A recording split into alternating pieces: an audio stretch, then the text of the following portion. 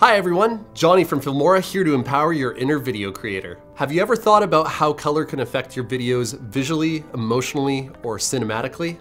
That's the art of color theory. In this video, we'll be going over some basic color theory, concepts, and how you can apply it to your very own videos. Let's get started. One of the basic terms and concepts to know about color theory are hue, saturation, and luminance. Hue refers to the color or shade. White, black, and gray are never referred to as hue. Saturation refers to the strength and intensity of a color, and luminance describes the perspective brightness of a color. Now, if you want to know why these terms are important, it's a really good way to describe changes you want to make in post-production to your image.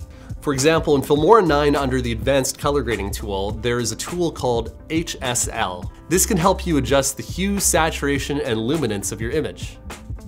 A tool that'll help you greatly in color theory is the color wheel.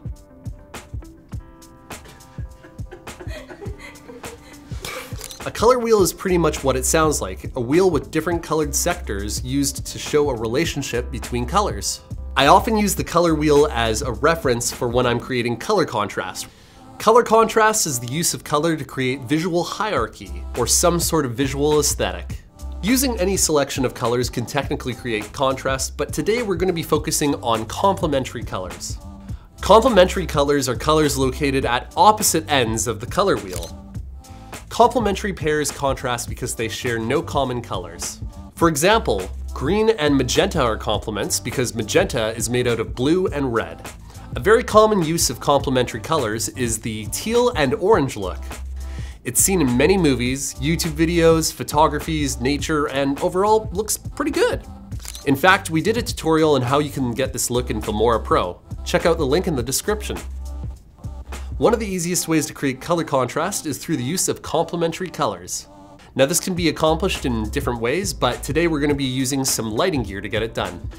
Gels are sheets of plastic that can be put on a light source to change its color temperature.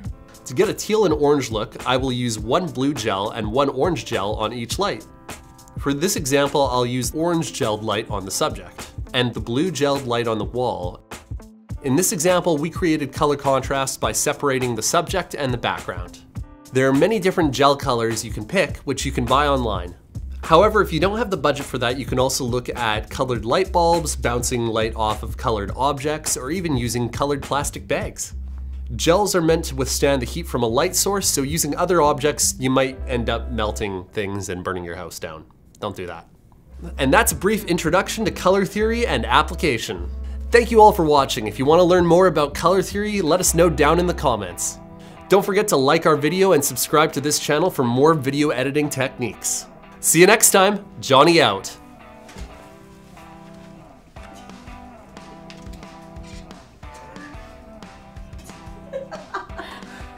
Johnny, where are you going?